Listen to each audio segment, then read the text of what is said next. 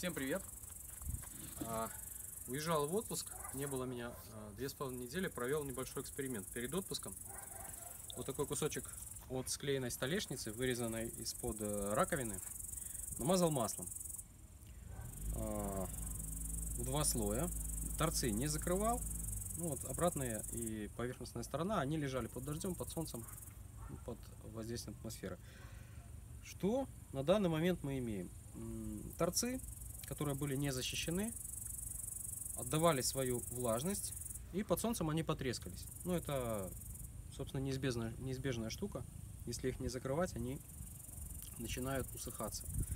Само покрытие масла нигде не дало ни пятен от дождя. Несколько раз был сильный дождь, потом полило солнце, ни, ни вздутия нету. Только вот на месте, где лопнул сам дуб, там есть какие-то проблемы. Но это с любым маслом и лаком это бы произошло.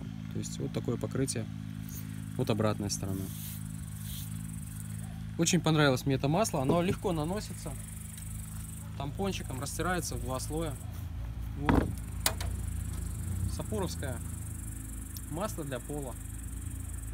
Его называют нано.